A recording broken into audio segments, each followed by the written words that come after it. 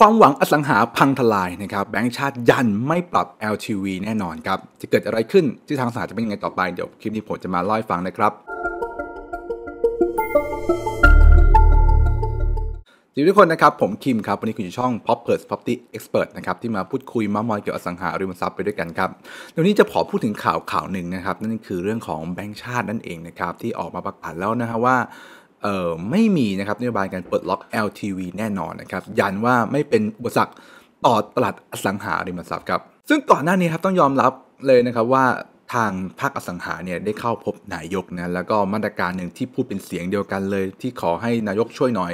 ให้รัฐบาลช่วยหน่อยนะครับ นั่นก็คือเรื่องของการปลดล็อก LTV ครับเพราะ LTV เนื่องจากอะไรครับ เนื่องจากทำให้คนที่กู้บ้านหลังที่2หลังที่ 3 หรือคนที่มีเครดิตที่ดีเนี่ยนะครับสามารถกู้บ้านได้ด้วยครับความจริงเนี่ยเขากู้บ้านได้ไหมเขากู้ได้นะครับ แต่ประเด็นมันอยู่ที่ว่าเขากู้แล้วเขาต้องเสียเงินดาวค่อนข้างเยอะทำให้เขาสึกพิจารณาในการเออไม่ยอมไม่อยากที่จะ เอาเงินส่วนใหญ่เข้าไป เพราะว่าอย่างเช่น 20%เนี่ยถือว่าเยอะนะครับ20%ล้านหนึ่งก็2แสนนะฮะ10 ล้านก็ 2 ล้านแล้วนะครับ จากมีข่าวที่ไม่ปรับ LTV ของแบงก์ชาติเนี่ยนะครับก็มีนักวิเคราะห์หลายคนก็มองว่าเฮ้ยมันจะถ่วงหุ้นอสังหาเยอะมากๆเลยนะว่าอสังหาเนี่ยจะแทบจะเป็นหมันเหมือนกันนะครับ ซึ่งจากบทความเนี่ยก็มีนักวิเคราะห์หลายคนรวมทั้งคุณเศรษฐาทวีสินเนี่ยบอกว่าอสังหาเนี่ยกระทบหนักเลยนะครับจำเป็นต้องให้ภาครัฐช่วยด้วยนะฮะไม่งั้นเนี่ย เออแย่เลยนะครับ เพราะว่าหลาย ๆ เจ้าเดือดหลายเจ้าเนี่ยก็งอนแง่นพอสมควรครับ หากมองสถานการณ์โดยรวมตอนนี้นี่นะครับเดีวเปอร์หลายเจ้าเนี่ยก็โหเจ็บหนักเนื่องจากกำลังซื้อหนึ่งคือชาวต่างชาติที่หายไปนะครับจีนเจอเนี่ยก็เรียบร้อยถูกไหมฮะต่างชาติอื่น ๆ ก็เรียบร้อยครับdeveloper ที่ใช้ทำเอ่อคอนโดต่าง ๆ นานาเนี่ยนะครับก็ไม่มีแรงซื้อหนุนจากต่างชาติเข้ามาถ้าต้องขายคนไทยและคนไทยตอนนี้เราก็รู้ว่าเศรษฐกิจค่อนข้างแย่ค่อนข้างตกต่ำทำให้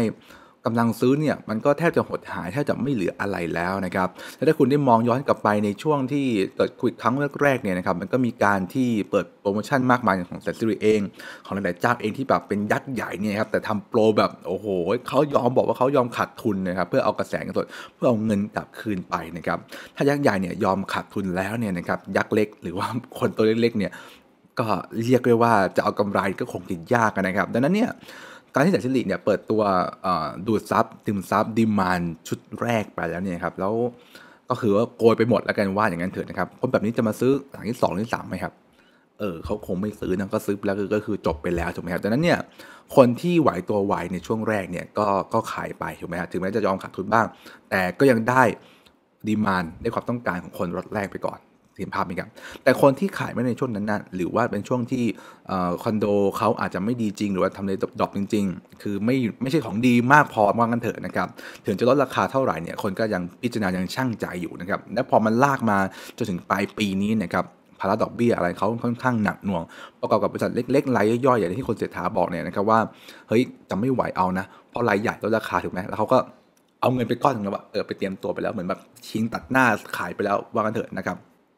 แต่รายเล็ก ๆเนี่ยขายก็ยากต้นทุนก็สูงกว่า เพราะว่าไม่อยู่ในตลาดหลักทรัพย์ไงซื้อที่ดินก็ถูกไหมซื้อแพงกว่าทำเลก็ต้องดรอปกันอยู่แล้ว เพราะว่าไปสู้กลางเมืองสู้รายใหญ่ไม่ไหวอะไรอย่างเงี้ยทำใช้ที่ดินมรดกนะฮะ คือสู้ไม่ไหวอยู่แล้วดังนั้น ความเสี่ยงของรายเล็กๆเนี่ยมหาศาลมากๆนะครับ ประกอบกับ LTV เนี่ยที่จะเป็นตัวหนึ่งที่กระตุ้นอสังหาริมทรัพย์ ให้มีดีมานแรงของคนซื้อกลับเข้ามาซื้อเนี่ย กลับเป็นหมันความหวังพังทลาย มันก็ทำให้เขารู้สึกว่า แล้วดีมานหรือความต้องการหรือคนจะขายบ้านซื้อบ้านจะมาจากไหน จะเอาที่ไหนมามาซื้อนะครับซึ่งนี้ผมพูดในมุมของภาคอสังหานะก็ค่อนข้างเห็นใจมาก ๆ เลยว่าต่างชาติก็เป็นหมันคนไทยก็สกิดไม่ดี LTV ก็ยังมีอยู่ ยังไงครับผมคิดว่าอสังหาอย่างไงก็หืดแน่นอน แล้วคำถามคือว่าแล้วหนี้สินที่เขาแบกรับเอาไว้เนี่ยจะไปต่อกันอย่างไร จะทำยังไงให้ผ่านพ้นไปได้ ทั้งเรื่องของค่าส่วนกลางที่ต้องแบกรับ ทั้งเรื่องดอกเบี้ยของธนาคารเองก็ตามนะครับ ถ้า ไม่เกิดเงื่อนไขการช่วยเหลือจะอยู่อย่างไรครับในเวลาอันใกล้นี้เนี่ยนะครับก็คือช่วงเดือน 10เนี่ยจะมีการ